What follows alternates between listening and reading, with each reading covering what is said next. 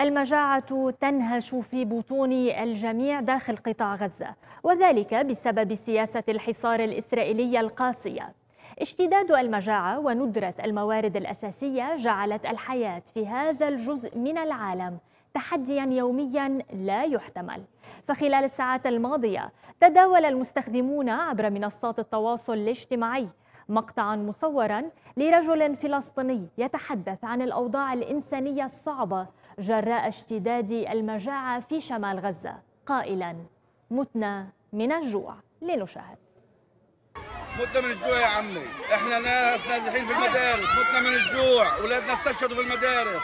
وأنا مصاوب لي ولد مصاوب واثنين شهداء. متنا من الجوع. نفسنا في كل حاجة يا عمي. مجاعة. طلع طلع. صور يا عمي. شو هذا؟ طلع يا عم إيش بناكل خبيز بناكل فول بناكل أبصر إيش بناكل نفسنا في شقفة لحمة نفسنا في دجاجه نفسنا في جناح.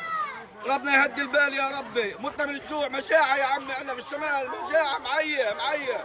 أنا بقى وزني 140 كيلو. الحين 85 79 كيلو من 140 كيلو. خسينا النص يا عمي. مجاعة طلع المجاعة لحد الوين طلع شو بناكل فيها طلع أسنان ما لو يا عمي. هاتوا لنا حاجة ناكل ادعمونا يا عمي من شان الله. مشان محمد يا عمي متنا من الجوع اولادنا راحوا استشهدوا. وإحنا مصوبين وحالتنا حالة. خلوها على الله. معي كل شيء راح يا عمي كل شيء راح كل شيء راح معي يا عمي متنا من الجوع. انتكبنا. انتكبنا يا عمي انخلقنا. فيش اعصاب فيش نفس للحياة. اولادي راحوا مدرسة الحسين. وأنا مصاوب ولي ولد كمان مصاوب أنا هي شظية في راسي وفي شظية في رجلي. قالوا لي لك عملية.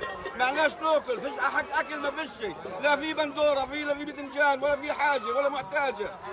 آه ربنا بالله ربنا هد البال يا عمي. بس مده من الجوع. نتحمل الأسبوع هذا الأسبوع الجاي كيف نتحمل يا عمي؟ كيف نتحمل؟ لا ظل خبيزه ولا ظل حاجة ولا ظل محتاج. من وين نجيب يا عمي؟ من وين نجيب؟